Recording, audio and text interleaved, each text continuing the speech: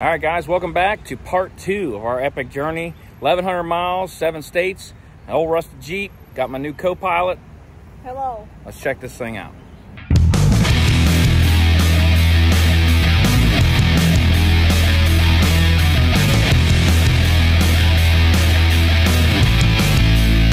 All right, guys, so this is day two. We just got up. We're still at the hotel here. I did notice last night at the gas station, this thing was running a little bit rough when we fired it up, right after we filled it up. We ran it a little bit low. We got into the red. I don't, you seen it? If you haven't seen it, it's in the last video. Go ahead and check that out. Um, so I don't know if it's that or if it's just whatever stuff starting to move through the system from not being driven very much. But uh, we're going to put the old Berryman's, the Italian treatment, as uh, Derek from Vice Grip Garage calls it, the Italiano treatment. Put that in the tank and then I'm going to actually take some carb cleaner, carbon intake cleaner, and spray it down the IAC valve into the throttle body. I'm not going to pull the IAC. Normally I'd pull it out, clean it, clean the seat and all that. I'm just going to spray it, get it running and spray it through the port while it's idling so it'll suck that in and kind of clean that IAC valve system. And uh, just make sure, because sometimes those get carbon, get carbon and stuff, and it definitely could have been part of the IAC uh, system doing that. So we're going to go ahead and do that real quick before we hit the road again see if it cleans up. We got 580 more miles to go, I believe, right? Around 580 miles to go. I don't know if we're going to do it all today or not because we got some things we want to check out. So you'll get to check them out along with us.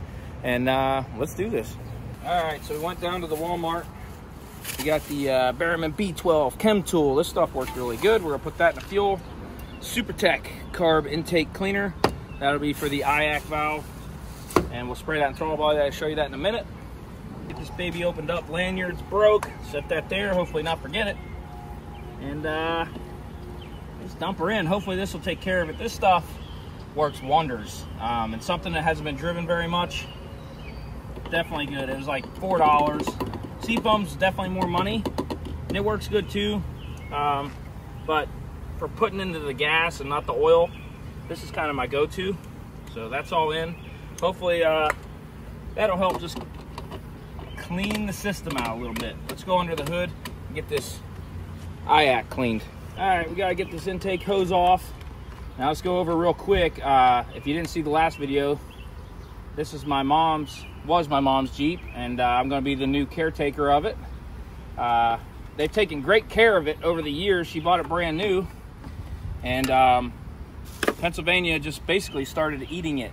All the salt and snow on the roads just started eating the metal on this Jeep, and they were having problems with it passing inspection every year without having to do work every single year.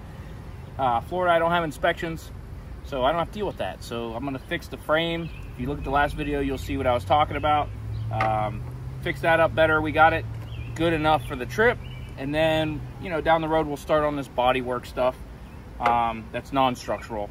But um, we're just trying to make this trip down and like I said, check out the last video if you want some more information. And we're gonna clean this up. So what we're gonna do, if you look in here, here's your IAC valve is right here, bolts in. Normally I would take this out, take the back part off, clean all that out, put it back together. But the IAC actually, right here is where it controls the air and stuff like that. It, you know, the valves here goes, the piston goes in and out, and here's the port. So you can see this is dirty in here. Look at that. So gonna clean the throttle body. I'm gonna fire it up. I'm gonna spray in here, clean the IAC, and they could use it anyway and get this baby running tip-top shape so when we're idling in traffic or anything, we don't have no more stumbles or problems with the idle. Let me get it fired up. So we're gonna spray a little in there. It probably, it might die. There we go. Fire back up. You wanna do it while it's idling because that's when it's working. Come on, baby. There we go. Just kind of work at it. And you're spraying it right in that port. You can already see it cleaning the throttle body there. If it's not idling, you don't want to open the valve because the IAC will kind of stop working. You want it idling because that's when that thing's moving around in there. Oh, she died. We're going to fire it back up and do it again. All right, we got to fire it back up. We'll just keep doing this. And we'll do this, I don't know, maybe a third of a can. Just make sure we get that nice and cycle through there and clean. And then uh, after that, I'll clean out the throttle body. that'll be it, put it back together. All right, so now I'm just gonna stick the straw in there, which I probably should have did in the beginning, kind of get it in that port a little bit better. It kind of still spills out into the throttle body. but I'm still doing this. seems to be doing a little better with the stalling. It's definitely idling smoother. It sure sounds better, doesn't it? Yeah. So we'll do this a little bit more. Oh, there it is, dead again. I put too much in. So as soon as we're done, I'll show you, we'll clean the throttle body. I'll show you the throttle body real quick. Be back in a minute. All right, we got that all sprayed out. Now I just want to show you in this throttle body, you could see, now it's kind of ran down there a little bit and was cleaning that, but you could see just how dirty the throttle body is here. I mean, that's filthy. So I'm gonna go in and spray this all out. Spray off the butterfly, spray off where it seals around the edges, get that all nice and clean, and this baby should be ready to go back together. Not a great area. All right, so we got that, look at that. That is clean. So we got the throttle body completely cleaned out and ready to go. You can see this is just some of the stuff on the rag that I wiped out. So I was just spraying it in, spraying it on the rag, going in and wiping that out real good. And now, woo, shining like a diamond. So put this back together, make sure it still starts, and then uh, hopefully hit the road. Jam that on. Her tightened up, and then uh, when we were up there and I did the air cleaner, which at the house, I didn't get to show you uh, that part really when I was cleaning it a little bit, but when I took it off, this hose cracked. Everything's just getting so brittle, so we put, put it on, just a little bit of electrical tape, kind of hold it on there, and uh, seal it up. So this is tight, so now I'll fire it up, see what happens.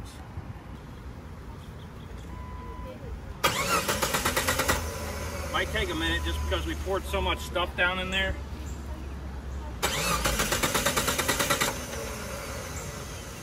Might take another minute.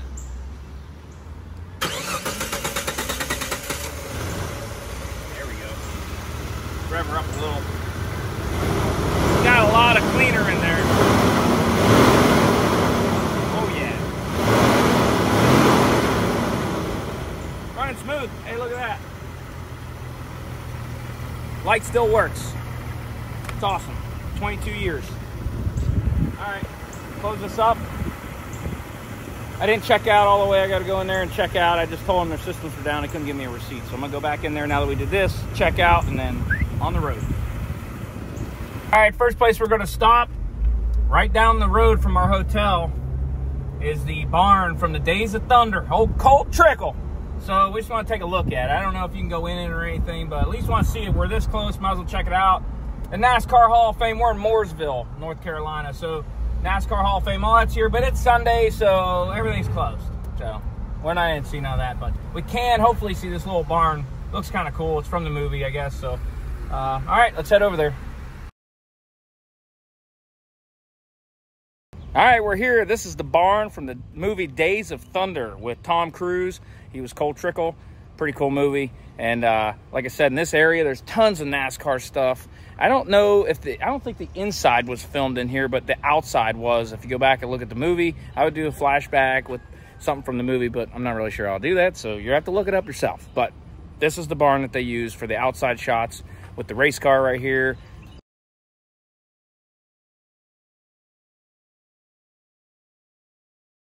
And uh, anyway, it looks a little run down. Let's check it out real quick. Still, it's an awesome looking barn though. It says private property here, so obviously they don't want you going in here. They got pallets, a bunch of stuff in there, but in the movie, I believe there was like a, race car was right here. Anyway, you have to go back and look. I haven't seen the movie in a while, but I do remember this, and uh, that is pretty cool. So anyway, we can walk around the side real fast. So here you go. It's a better shot of it. Still got the silo. Man, that's cool. But we can't stay here too long because we got to hit the road. So come back over here, hop in the old Jeep. And again, we're looking for a name for this. We're not sure. So leave it in the comments down there if uh, you can think of a name. It's got a Steelers theme. My daughter was saying Wally because he was yellow and kind of rusty because this thing, like I said, the frames rusted. We're rusted here on the back, stuff like that. Um, smiley because, you know, my mom had smiley faces all over it, which does go with it. Sunshine, happiness, that kind of thing. Um, leave the leave it in the comments down there. Let me know what you think. Give me a good name for this. All right, you ready? Yep. Let's do it. All right, back on the freeway. Hey, we got 128 miles to our next uh, turn, so here we go. There we go, is our next state. Welcome to South Carolina, York County. Woo! We're getting there. Keep trucking. Got the welcome center coming out. Oh man, I, we want to stop there? No? Maybe. Yeah. I think we keep trucking. Oh, look at that. G-Wagon. Woo! Big money. All right. Continue the journey. Water tower. Lightwood, South Carolina. Wherever that is. Making our way downtown. Hi. All right. Well, traffic. Yep. Oh boy. Yep. It looks like. I mean, at least we're moving. We're moving. It's just bumper to bumper for a long ways. Let me uh, flip you around. I don't know if you can see, but it goes all the way up that hill over there. We can try to zoom you in. You can see this goes way up there. So, not that we are going fast, but it's definitely going to uh, increase our time of getting to where we need to be. But that's okay because we're having a good time, right? Yeah. So it's been a good trip, so we're keep pushing along here. Well, there's a wreck there. Mustang. A Few people involved. Looks like that side's backed up. I don't know if this side's backed up just from rubberneckers or what, but we're moving again. That's all that counts. All right, so we just pulled off for gas here at Murphy USA, Walmart gas, and uh, see if we can save a couple, you know, a couple cents on some fuel. But uh, we're at a quarter tank. We're gonna fill it up, see what kind of MPGs we're getting. Uh, my wife's cord probably used barely any gas, but uh, see what kind of MPG she's getting. So um, let's check it out. All right, so we just got done checking the fuel mileage in this thing. Checked it. The miles that we went divided by the gallons came up with 19.72 miles per gallon. That is the best yet that we have done. So obviously cleaning that out with the carb cleaner, getting that IAC cleaned and the throttle body cleaned out, and putting the Berryman's in the tank, something must have helped it because before that I think that we did 17 miles of the gallon. The next tank was 17.95, 18 miles of the gallon. So we increased quite a bit miles per gallon. Now let's go over to my wife and see what she got in her car. So I'm sure it's better, but all right, let's see.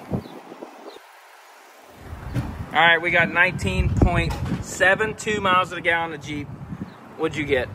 48.9. What? 48.9. I thought you said 48, 4.9 or 48.9. 48.9. Oh boy. And it's turbo? It is turbo. Oh boy. That's it's definitely better than ours. All right, we need to find a little something to chew on around here and get back on the road. Um, there is something we're going to check out. I don't know if it's going to be good or bad, but you're going to get to see it. Actually, a couple things, but there's one thing right down the street here. Hopefully, we can get to it real easy. And then, I don't know, the next one I think is a couple hours down the road, but it'll only be a couple minutes for you, so relax. All right, let's do this. On a quick side note, my elbow, I don't know if you can see it, but it got smoke from hanging out the window. So, yeah, I'm gonna put sunblock on. Oh, we decided to just grab uh, some deli meat here at Walmart. We're gonna make some sandwiches at the car, but check this thing out. Oh yeah, right here in the parking lot, in the wild. Short box, square body, clean too. It's nice. I like the wheels. Automatic, man, it's nice. You probably can't see that, but it's clean. All right, moving on. Check out this Walterboro Army Airfield Memorial Park. I don't know. We're here. Might as well check it out. Anderson Field. Sayre Field, first in Colleton County. Dedicated in 1933. 60 acres. Some other stuff there. You can pause the video and read it if you want. Let's see what we got over here. Oh, the uh, Tuskegee Airmen. Oh, this is pretty cool. Check this out. That's pretty cool. Check out, check that. I mean, those, that is, that is a cool picture. Bunny. This monument is in honor of the famed Tuskegee Airmen, as well as the instructors and ground support. That is pretty cool. Check this out over here. That's a cool monument, actually. I want to see what that guy is over there. I can't quite see it from here. Oh, it's an old, like, beacon. Man, that is cool. It is huge. 1945, the Army deeded the Walterboro Army Airfield, previously known as Anderson Airfield, blah, blah, blah stuff. The beacon right there, air guiding light, was left as part of surplus. In 19, 1996, World War II, buffs from out of state were caught making off with the load of military artifacts, including this beacon. Fortunately, they were stopped. Man, so somebody tried stealing it. Man, that's cool. That thing is pretty cool. All right, well, got to get on the road. It's a cool little stop. Little airport here in Walterboro, Walterboro, South Carolina. So we're gonna get back on the road, make our way down to Georgia. The old Jeep's filled up, our stomachs are filled up, and uh, we're ready to hit the road again. Well, she didn't want to get out. We swapped co-pilots here. Got my daughter with me now, and she did not want to get out and check out the memorial. Says it's too hot or something. I don't know. All right, let's boogie. Another water tower.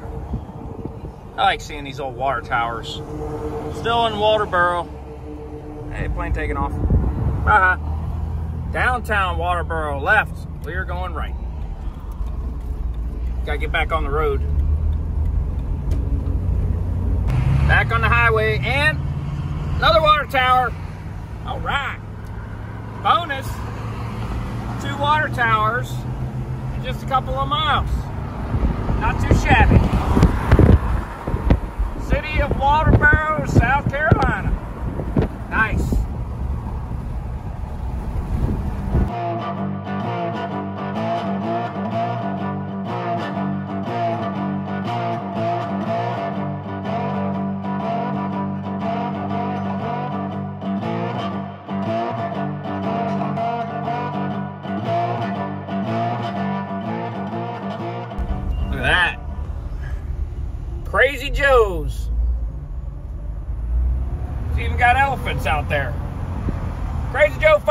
Get you some.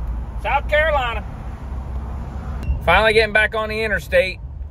It uh, rerouted us a little. I don't know what's going on on 95 here in South Carolina, but we have been drive 65, slow down to a stop, creep for a while, 20 miles an hour, drive 65, slow down to a stop, like over and over and over.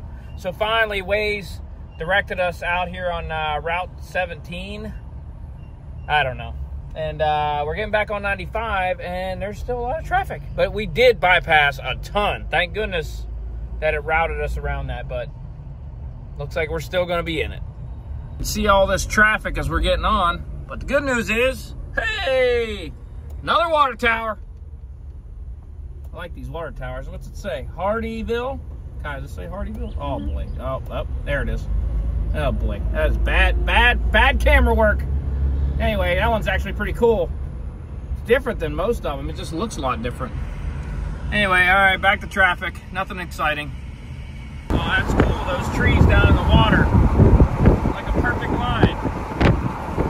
That's really neat. And then right up here, crossing the bridge. Boom. Welcome to Georgia. Nice. All right, we just crossed the Georgia line. That is our sixth state. One more state to go. Our home state, as of now, Florida. So we're getting there little by little. It's been a long trip. We've seen a lot of cool stuff. And uh, it's been a pretty cool journey. Hope you enjoyed it. And uh, a little more driving left, that's for sure. We're still quite a ways from the house, but getting closer to Florida, so hey, that feels better. What do you think? Been a good trip so far? Yep. That's it? That's all you got? Yeah. Yeah, that's all she got. All right, moving on. Well, we made another stop along the journey here. Found a pretty neat little thing. Got the Jeep right here. And that is America's smallest church. America's smallest church. Look at that thing. You can't compare the Jeep, but it's small. Let's go check it out. Yep, that's pretty small. It'd be easy to clean the gutters, if, you know, if it had gutters. Can you go in here?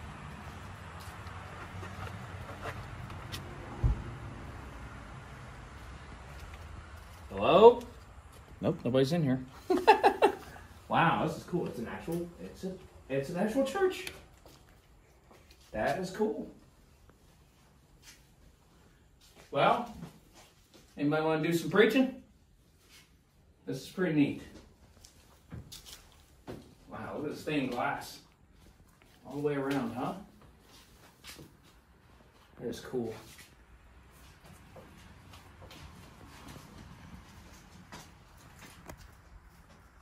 See the stained glass up in that little cubby hole up there. Bunch of papers on the wall. Somebody stopped by. Uh, 2006 18 24. Oh, little notes. That's pretty neat. Marsh family from Atlanta. June of 24. Man, this is cool. You can fit quite a few people in here. And it is not air conditioning, but it is pretty hot in. Pretty hot in here for sure. Man, this is cool. Some prayer requests. Matthew 5:16. This is cool. Ten Commandments. Read them, remember them. Pause the video there if you don't know them. Amazing Grace. That's a great song. All right, let's check out the outside. And the bell looks like it actually worked. Let's try it. Man, it's got, it sounds good. It's got a ring to it. Know what I mean? well, that's pretty cool. May this bell ring out as praise to the Lord. January 1st, 1998. Pretty sweet.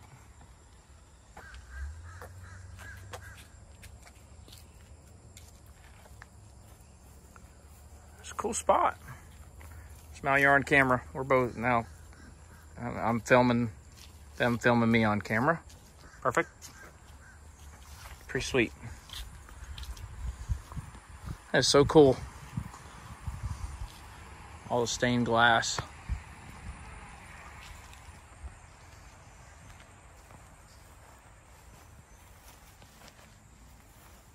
It's pretty neat.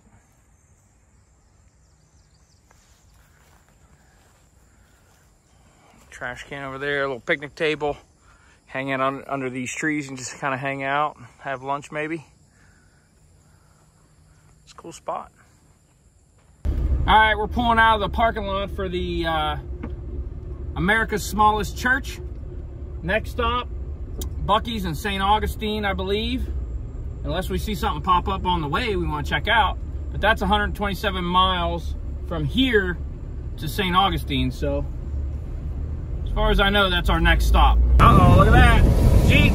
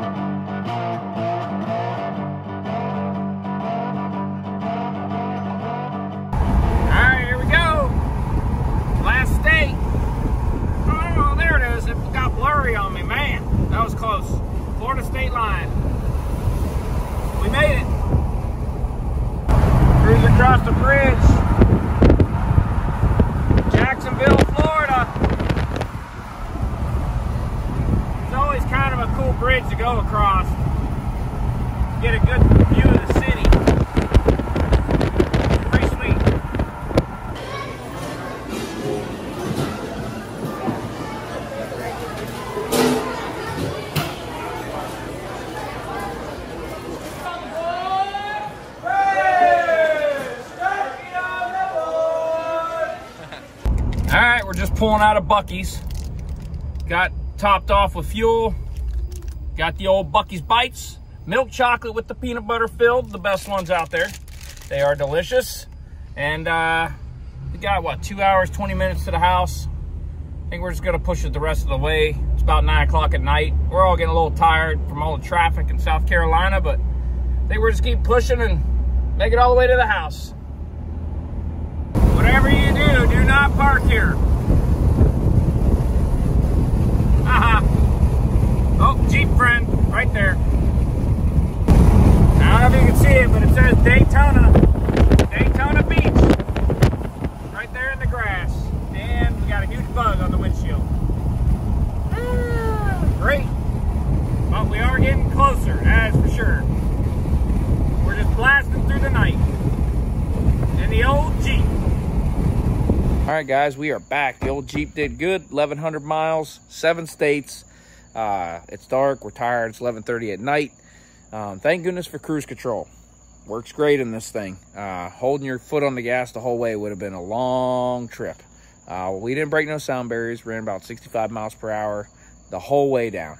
Um, but you know, we were trying to make a little vacation out of the journey down. Also, we seen some sights and water towers and I mean, you've seen all that. You rode along with us, uh, made little side trips and stuff like that. Not far off the highway, so we didn't lose a lot of time, but you might not get to those other areas of America again. I don't know, you know? So we want to see those things while we're driving by them. So it was pretty cool. Um, but I appreciate you watching. Like, subscribe, all the things, the YouTube things. I hate saying it, but, you know, got to say it. So uh, thanks again, and you'll be seeing this Jeep more in some of the upcoming videos, us doing the repairs on the frame and uh, it needs a tune up and just kind of going through it, getting it cleaned up, engine bay, the whole, I mean, you'll see, you'll see a lot of that on the YouTube. So stay tuned for that if you're interested in Jeep stuff and of course a lot of the other projects and uh, we'll see you in the next one. Thanks for watching.